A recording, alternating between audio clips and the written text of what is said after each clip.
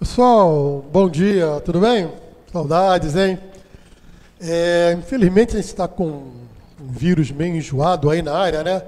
Acabou que travou bastante a nossa mobilidade. E, função disso, qual é a proposta?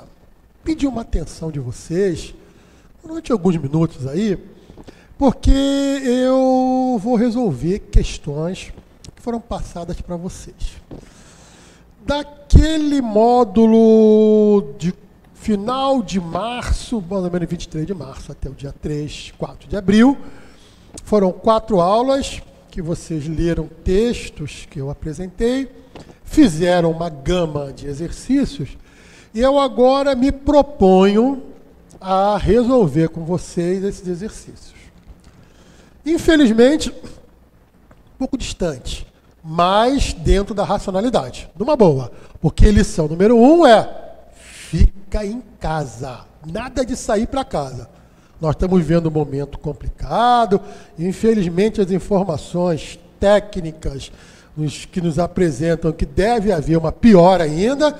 E sem querer ser alarmista, sendo absolutamente realista e informado, a gente sabe que está com uma saturação da nossa estrutura médica, de atendimento médico.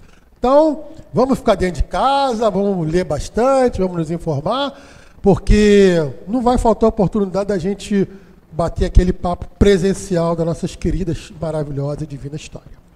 E agora, nesse momento, a gente discute o capítulo número 4. O livro está aí, nosso basicão. Livro número 1 um ainda. Capítulo 4, no qual a gente discute a sociedade da borracha.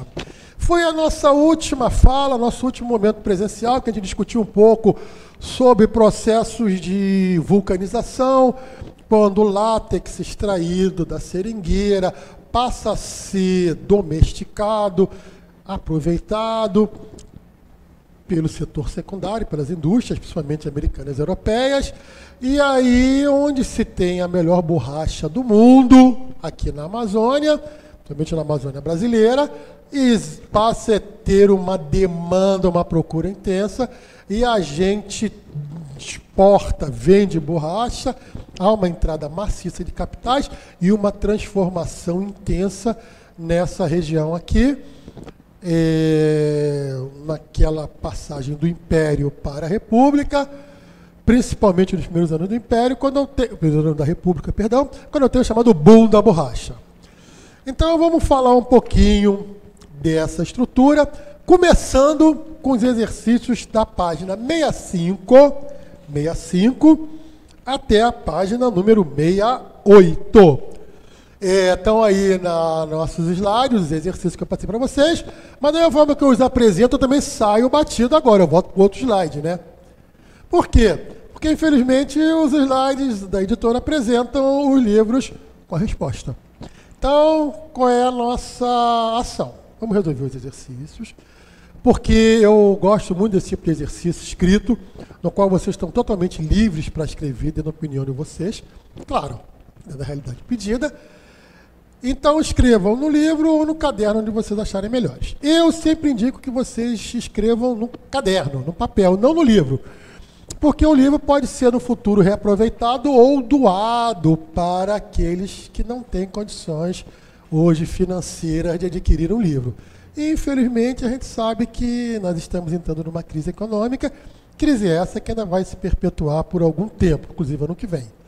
E eu faço parte do projeto de voluntariado, eu dou aula para instituições carentes, para alunos carentes, e vocês não fazem a ideia como isso aqui é um tesouro. Então, e para vocês também é muito bom que vocês, ao estarem escrevendo no caderno, vocês estão desenvolvendo e melhorando o letramento de vocês, a escrita, porque vocês sabem que daqui a pouco vocês vão ser chamados a processos de concurso, de vestibulares, que vai ser necessário o domínio de uma boa redação. Joia? Então, dentro da Sociedade da Borracha, vamos para a página 65, exercício número 1, que eu vou pontuando aqui para vocês. Sociedade da Borracha. Inicialmente, página 65. A disputa, desculpa. Capítulo número 4.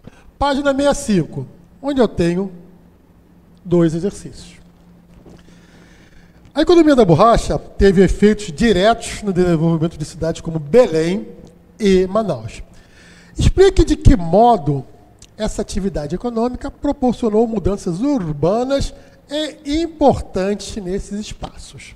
Gente, fiquem absolutamente livres para me apontar o que, aconteceu, o que mudou a urbe. Urbe é cidade em latim, ou as urbes de Belém e Manaus nesse momento histórico. Vamos lá. Basta a gente observar alguns patrimônios públicos presentes até hoje. A gente teve transformação na nossa estrutura de transportes, na nossa estrutura viária, avenidas, ruas, prédios. Um exemplo que a gente não pode deixar de falar aqui de Manaus, óbvio, evidente, é o Teatro Amazonas e todo aquele entorno que o envolve. Essa Resposta é livre, vocês fiquem à vontade de colocar o que vocês considerarem melhor. Eu falo pura e simplesmente só e apenas do meu ponto de vista, mas eu quero que vocês também desenvolvam de vocês. E além disso, é claro, a gente não pode deixar de falar de Belém, além de Porto Velho. Ou seja, ocorreram transformações nessas cidades com modificações de moradia, de transporte, de iluminação, de esgoto, de água, etc. Joia? Pergunta número 2, da página 65. Pode-se dizer que a riqueza gerada com as vendas da borracha beneficiou todos igualmente? E justifica a resposta. Então, na pergunta número 2, da página 65, vocês vão me responder o seguinte.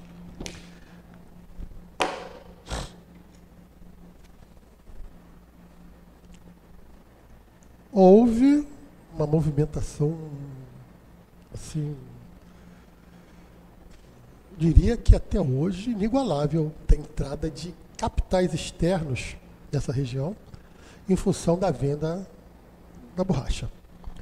Então, bilhões e bilhões e milhões de milhões. Na época, a Libra, a Libra esterlina, mas da Inglaterra, era moeda forte. O dólar ainda não havia atingido a dominância que tem hoje. Então, o estado do Pará e o estado do Amazonas, a própria República do Brasil, ganharam milhões e milhões e milhões e milhões e milhões réis nesse processo. Mas a pergunta, primeira coisa que ela faz aqui, beneficiou todos igualmente? Resposta sim ou não? A resposta é não. Não houve uma divisão igualitária desse ganho por todos. Por e simplesmente, um exemplo que eu posso falar é perguntar para vocês é o seguinte: todos poderiam se dirigir ao Teatro Amazonas para assistir os espetáculos lá existentes? Óbvio que não. Essa riqueza gerada não foi dividida. Então, essa é a primeira resposta. E justifica. Por que, não foi dividida? Pura e simplesmente porque ela ficou concentrada. Poucos muito ganharam e a maioria quase nada ganhou. A maioria dos trabalhadores, a maioria dos habitantes da cidade de Manaus, lembrando que durante alguma parte do ciclo da borracha havia escravidão, uma parte. Índios, negros, pobres, caboclos, ribeirinhos, a maioria comerciantes, trabalhadores de transportes, trabalhadores públicos, a maioria não foi contemplada com as benesses e com essas riquezas. Houve uma concentração maciça de riqueza na mão de pouquíssimos, principalmente aqueles chamados os seringalistas e os grandes comerciantes da borracha. Então, não, não houve distribuição e houve, na verdade, concentração. Cuidado com essas visões muito românticas que a gente vê em quadros, em pinturas, em fontes, de muita riqueza, de muito teatro Amazonas, de muitas vias, a Batalha do Mocó, o Mercado Adolfo Lisboa, coisas lindas. E cadê o povo? O povo morando em palafitas, com morte, com doenças endêmicas, lepra, uma situação de desigualdade pavorosa. Ok? E agora a gente vai para a página número número 68, onde a gente tem agora é com você. Agora é com você.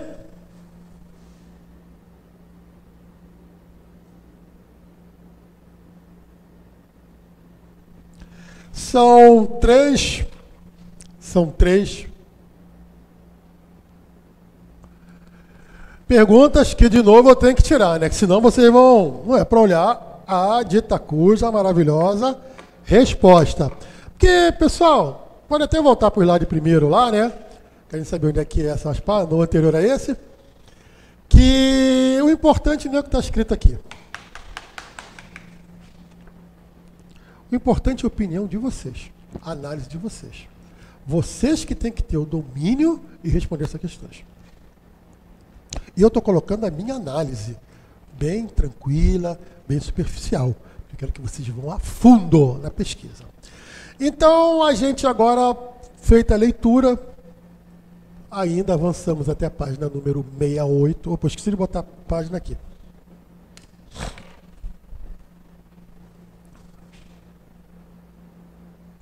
Página. Eu tenho um, dois e três. E, primeira pergunta. Comprado da Bolívia em 1903, o Acre foi a última área a ser incorporada ao território nacional. Que interesse levaram o Brasil a comprar esta área? Então, a gente começa destacando que o Acre, o que a gente chama de Acre hoje, o estado do Acre, era uma região que pertencia à Bolívia. E havia algo lá, interessante, que o Brasil ficou atraído. E em função dessa atratividade, ocupou e depois comprou. Pagou milhões de libras esterlinas ao governo boliviano para trazer esse território para dentro do nosso país. Que, diga-se de passagem, foi uma decisão que nos enriqueceu muito, porque na nossa história nós temos é, acrianos, Chico Xavier, um, um antigo é, ex-candidato a presidente da República, o doutor Enéas, a gente conhece ele mais como candidato da República, candidato a presidente, do que um dos maiores cardiologistas com obras sobre cardiologia de ponta médico de renomado saber e produção científica. E quando a gente traz esse Estado para o Brasil, qual foi a motivação? Por que, que o Brasil resolve comprar o Acre? O Brasil era o maior produtor de borracha do mundo, em regiões principalmente no que a gente chama do estado do Pará hoje e no estado do Amazonas. Porém, nessa expansão da busca da chamada seringa silvestre, porque a nossa seringa ela estava dentro da floresta, ela não era plantada. Então eu tinha que entrar na floresta para encontrar seringa. Eu comecei a me expandir, entrei em território boliviano e encontrei milhares de pés de seringa. E aí o Brasil vê a atratividade, compra essa região. Em paralelo a isso, há um acordo para a montagem de uma ferrovia por quê? Porque o Brasil estava ganhando muito dinheiro, muita renda com a borracha, ganharia muito mais quando abarcasse esse território do Acre, onde haviam milhares de seringueiras. Então, a resposta à nossa pergunta é esse. O interesse da aquisição do Acre foi uma motivação econômica. Joia? Número 2. Em 1907, o Brasil começou a construir a estrada de ferro Madeira-Mamoré. Quais acontecimentos que motivaram a construção desta ferrovia? Que nem eu já falei com você anteriormente, o Brasil resolve comprar esse espaço da Bolívia. E qual foi a negociação entre o governo boliviano e o governo brasileiro? A Bolívia exigiu o pagamento de 5 milhões de libras esterlinas. E, junto a isso, junto, havia o compromisso do governo brasileiro construir uma ferrovia, parte de Madeira, da Mamoré até Rio Madeira, para que a Bolívia escoasse parte de sua produção pelo Rio Madeira, que depois é um afluente do Rio Amazonas, fazendo com que a Bolívia alcançasse o Atlântico via Rio Amazonas. Então o pacote era 5 milhões de libras, mais o governo brasileiro construindo uma ferrovia. Então, a resposta à pergunta: o que acontecimento levou à construção? O Tratado de Petrópolis.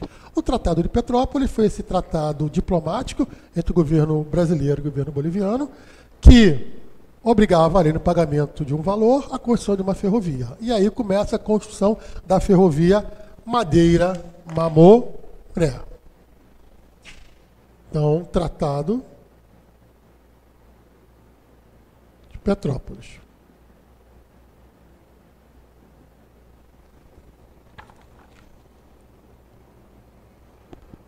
Ok. Número 3. Explique como chegou ao fim o período áureo de produção da borracha da região amazônica. Indique quais são as principais regiões produtoras desta matéria-prima no presente. Vamos lá então. Então, primeira pergunta que ele faz.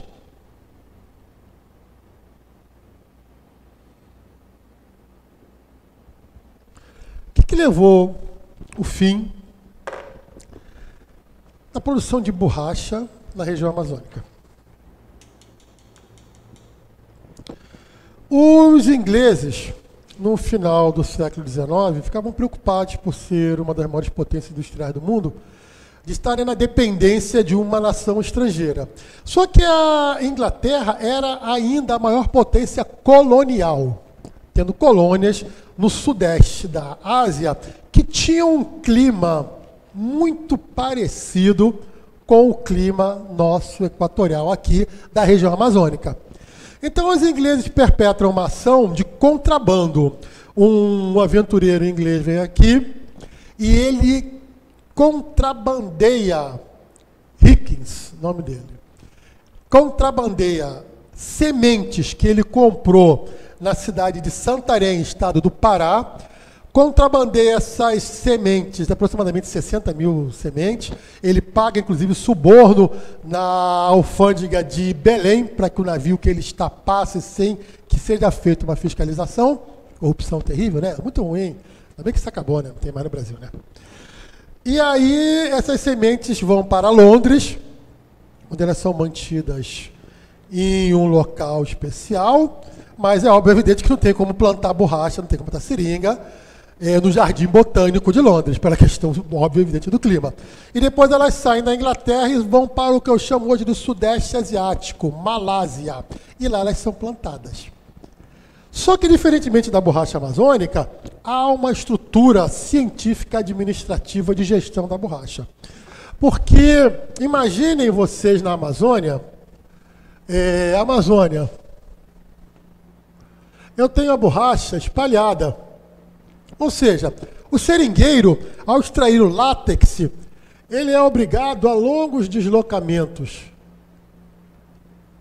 para cobrir o que vocês observem aqui, ó. Um, dois, três, quatro, cinco, seis, sete, oito seringueiras. Na Inglaterra, quando a Inglaterra, de posse das sementes, se lança o projeto, ela se lança o projeto de plantio. E não é mais a chamada seringa silvestre, sim a seringa agrícola. Ela é plantada de forma ordenada. Observem só. Está uma do lado da outra. Olha as distâncias. E ela importa mão de obra. Da onde? Da China. Ela traz milhares de trabalhadores chineses, com um custo de mão de obra extremamente baixo. E a produtividade, olha só. Imagina quantas seringas por dia o seringueiro chinês poderia extrair em comparando com um brasileiro. Então, a borracha inglesa chega ao mercado por um custo infinitamente mais baixo, uma quantidade muito maior e destrói por completo a nossa borracha. É impossível a gente concorrer. E aí a gente para de ter entrada de recursos financeiros aqui. E hoje em dia? Hoje em dia eu tenho a borracha majoritariamente chamada sintética, utilizada derivada do petróleo. Mas a pouca borracha que eu tenho ainda silvestre, eu ainda retiro da Amazonas, de São Paulo. São Paulo é um grande produtor de borracha, centro-oeste e nordeste. Mas hoje, por incrível que pareça, o Brasil importa borracha. O Brasil, que já foi o maior produtor de borracha do mundo no começo do século XX, hoje em dia importa borracha natural, porque não consegue atender às nossas realidades. Tranquilo, galera? Página 65, 68, fechadas. Foi a nossa primeira aula. Agora vamos para a segunda aula, no qual a gente vai debater ainda 6973. A 6973, ela é interessante porque agora a gente vai partir para uma análise de questões de múltipla escolha. E o melhor de tudo, são questões de vestibulares. São questões mostrando o elevado nível técnico que vocês têm, que vocês já estão comportando, de poderem fazer um vestibular em condições até bem competitivas. Então, página 69, página 70, 71 até 73, nós temos nove questões de múltipla escolha que eu vou estar conversando com vocês agora. Tranquilo? Primeira, ah, o assunto. Continuamos ainda na Sociedade da Borracha, no capítulo número 4. Explore seus conhecimentos, página 69. Número 1. Universidade Federal de Santa Catarina. Olha só, é isso daí tudo. São essas páginas aí, mas eu também não posso ficar em aberto porque me fazem o favor de apresentar a resposta, né? Vamos lá, galera. Número 1. Alguns autores calculam que pelo menos meio milhão de nordestinos sucumbiram às epidemias, ao impaludismo, à tuberculose, ao beriberi, doenças, doenças existentes aqui na Amazônia. Sem nenhuma reserva de vitaminas, os camponeses das terras secas realizavam uma longa viagem para a selva úmida, saindo dos sertões da Caatinga nordestina para a nossa floresta equatorial iam amontoados nos porões dos barcos em tais condições que muitos morriam antes de chegar. Muitas vezes que os barcos chegavam aqui em Manaus, nos seus porões tinham seres humanos mortos. Condições de transporte as piores possíveis. Imagina uma viagem de barco do Nordeste para Manaus, quantos meses? Entre mil, em 1878, final do século XIX, dos 800 mil habitantes do Ceará, 120 mil marcharam, 15%. Porém, menos da metade chegou. Os restantes foram ficando por fome ou por doença. Dos 120 mil que saíram, menos de 60 mil chegaram aqui. Então, isso aqui é um livro do Eduardo Galeano, que é um trecho que ele faz essa análise. E a pergunta: o deslocamento populacional descrito insere-se no contexto histórico. Esse deslocamento se insere em que momento histórico? Movimento dos Canudos? Canudos foi no República, em 1897, e Canudos foi na própria Caatinga nordestina. Então, não estamos falando nordestino saindo do Nordeste e vindo para a floresta úmida. Porque vocês têm que atentar que tem que desenvolver interpretação de texto. Mesmo sendo múltipla escolha, vocês têm que estar com uma interpretação do texto magnífica. Porque toda questão é como a cena de um crime, que eu sempre falo brincando. Você tem as pistas. Ou seja, ali você vai ter as respostas das suas perguntas. A questão te dá as respostas. Basta você saber fazer o quê? As perguntas corretas. Letra B. Desenvolvimento das fazendas de gado do Rio São Francisco? Não. Rio São Francisco, Nordeste. Se eu estou falando da saída de gente do Nordeste para a floresta úmida, não é esse caso, porque aí seria Nordeste-Nordeste. Então a letra B está errada. Letra C da migração nordestina para as cidades grandes da região sudeste? Não. Porque aqui ele torna a falar na terceira linha. Longa viagem para a selva úmida. Região sudeste não se caracteriza pela presença da selva úmida. Região sudeste, a gente tem uma gama de ecossistemas, é, mas não a floresta úmida. Letra D, da ocupação econômica do Mato Grosso. Pessoal, 1878, final do século XIX, uma migração interna maciça de cidadãos do Nordeste para a floresta úmida. Eu tenho floresta úmida na Mato Grosso? Sim, somente no norte do Mato Grosso eu tenho a presença da floresta úmida. Mas existe destaque de ocupação econômica? Não nesse momento. A gente vai observar a ocupação econômica forte no Centro-Oeste, mas principalmente no século XX, em função do plantio de soja. Uma outra dinâmica. Letra E. Da exploração da borracha da Amazônia? Sim, resposta correta, letra E. Essa massa de habitantes do Nordeste sai do seco para a floresta úmida, motivados por quê? O ganho financeiro gerado pela exploração do látex e a maioria, a maioria vai se constituir de seringueiros nesse processo. Resposta correta, letra E. Eu vou pular a número 2, porque a número 2 é escrita, discursiva. E eu vou querer bater um papo no retorno, na presencial. Porque agora meu foco é trabalhar com vocês as questões de múltipla escolha.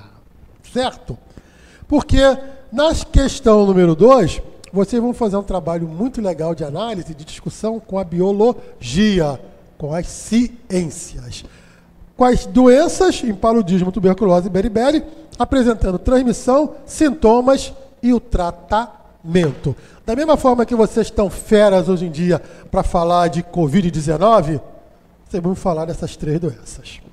No tocante à sua transmissão, seus sintomas e seu tratamento. Questão número 3. Enem. Enem. Opa, olha o Enem aí. Em 1914, o preço da borracha despencou no mercado internacional. Dois anos depois, firmas foram à falência em Manaus. E assim acabou o sonho de quem acendia charutos com notas de réis. A cidade entrou em colapso. Só um detalhe. Esse negócio de falar que a pessoa pegava uma... A mesma coisa hoje você pegar uma pessoa com charuto, ela pegar uma nota de 100 reais, enrolar, botar fogo e acender o charuto com uma nota de 100 reais, no lugar do fósforo. Isso é mentira. Isso é o significado da pessoa ser tão rica, tão rica, que ela queima dinheiro. Isso não existiu aqui em Manaus. Isso é uma lenda urbana, ou atualizando para a nossa realidade, uma fake news. O so, aí então está falando que em 1914 o preço cai, dois anos depois, bum, a gente fale. O súbito declínio da atividade econômica foi provocado por quê? Letra A Carência dos meios de transporte que permitissem uma rápida integração entre as áreas produtoras e consumidoras? Não. Nós tínhamos meio de transportes aqui, para vocês terem uma ideia, que ligavam Manaus à Alemanha, à Inglaterra e aos Estados Unidos e à França com regularidade. Aqui no porto, você tinha navios regulares para esses quatro nações. Então, essa data é errada. Letra B. Produção das plantações das seringueiras do Sudeste Asiático, que ocasionou um excesso de produção mundial. Resposta correta. Quando os ingleses fazem uma produção industrial, uma produção agrícola, desculpa, agrícola de seringa, e aí o preço desaba, a quantidade aumenta e destrói totalmente a nossa competitividade. Resposta correta da número 3, letra B, de Bolívia que era onde estava o Acre. Número 4, Cefet, Escola Técnica de Minas Gerais.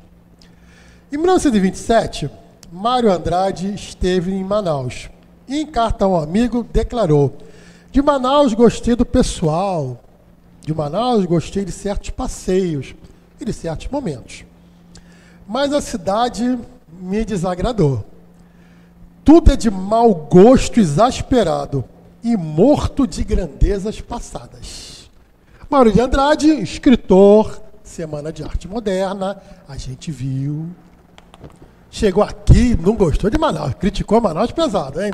Gostou do povo, mas falou aqui, mau gosto e grandezas passadas. As impressões desse poeta sobre a cidade relacionam-se a, letra A, crescimento desordenado da cidade e a grande migração de nordestinos? Não, ele teve aqui em 1927, e vocês têm que atentar que a grande migração de nordestinos aconteceu antes da crise. Nordestino não vinha para cá com a cidade em crise. Se a crise foi em 1916, que está na pergunta número 3, e a número 4, 1927, não está batendo. Letra B. As obras urbanísticas modernizadoras e o desenvolvimento da Borracha do Norte? Resposta correta.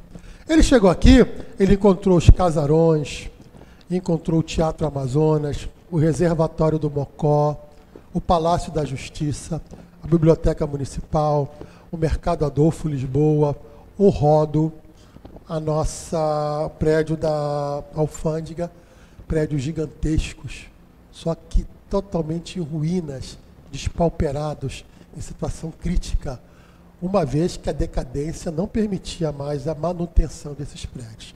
Então era uma cidade com uma situação econômica desesperadora e passando por uma decadência explícita. Resposta correta, letra B de bola.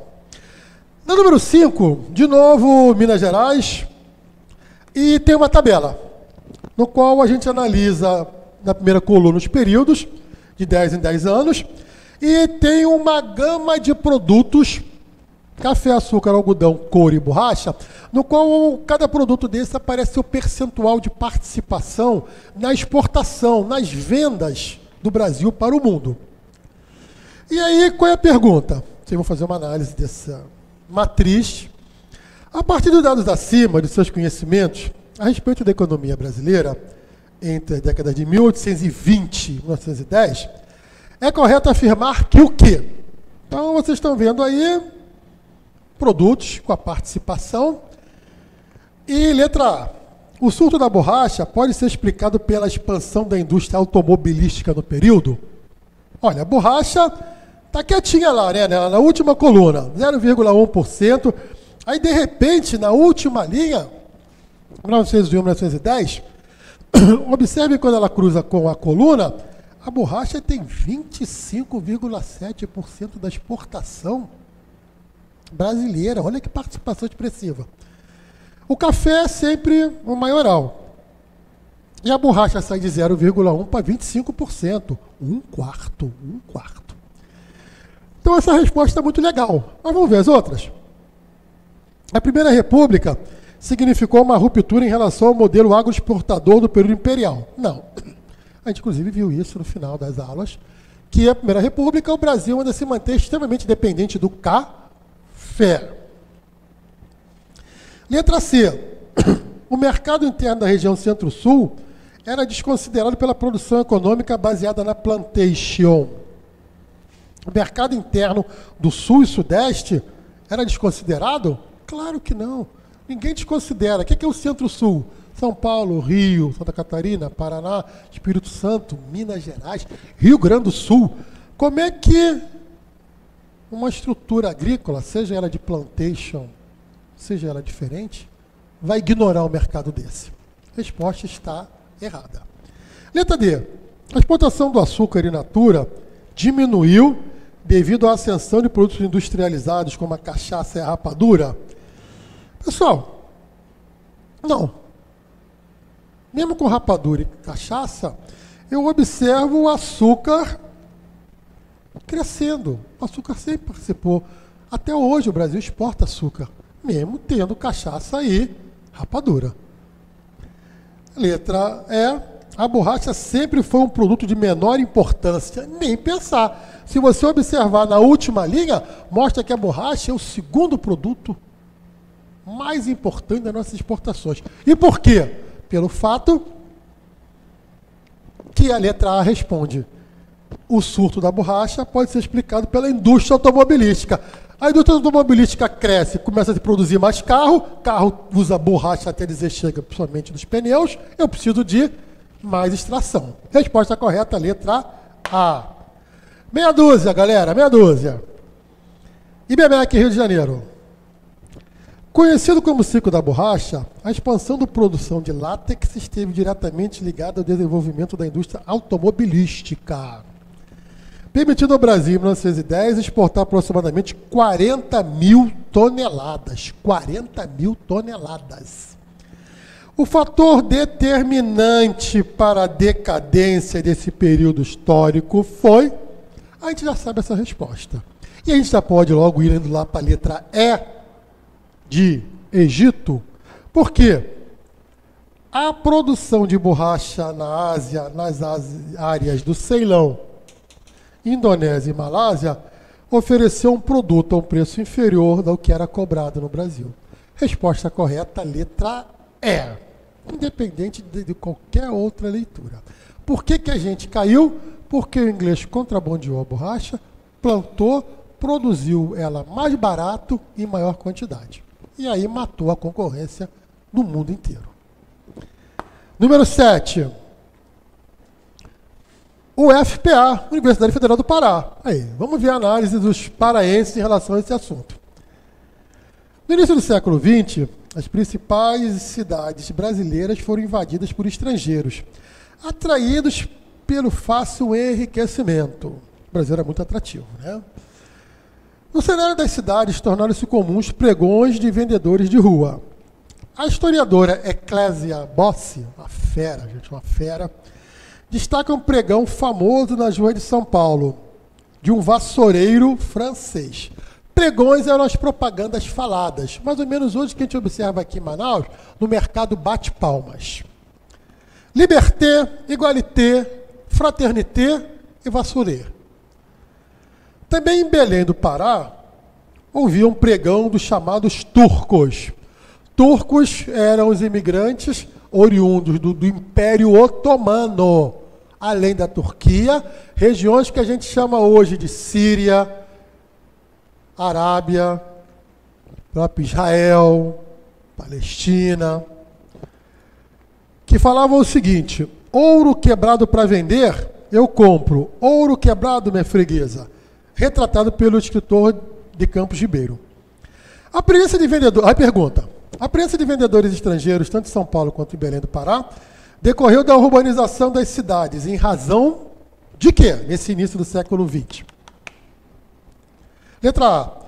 Concentração de fábricas na cidade de São Paulo, a qual exigiam mão de obra estrangeira e exploração de látex na região amazônica, que exigiam numerosos exércitos de trabalhadores na cidade de Belém, que também tivesse o seu pendor para o comércio. Não, está a resposta errada. Por quê? O pendor de Belém era para extração e distribuição, exportação de borracha. Eu sei que essa questão já é um pouquinho mais complicada, fica um pouquinho mais difícil a gente responder de uma metrópole que não é a nossa, mas tem que se fazer uma análise histórica. Belém, no começo do século XX, era uma cidade com ganho financeiro e econômico muito mais forte no tocante à exportação, muito mais, muito mais mesmo que o comércio. Quanto a São Paulo, está certo. Letra B. Desenvolvimento industrial que ocorreu em São Paulo e da expansão da economia da borracha na região amazônica, atraindo para ambas cidades um expressivo contingente de estrangeiros. Resposta correta. Por que tantos estrangeiros em São Paulo? Por causa do processo das suas indústrias, industrialização. Por que tantos estrangeiros na Amazônia? Por causa do ciclo da borracha, que precisava de técnicos, agrimensores, tradutores, comerciantes, exportadores e importadores. Resposta certa, letra B.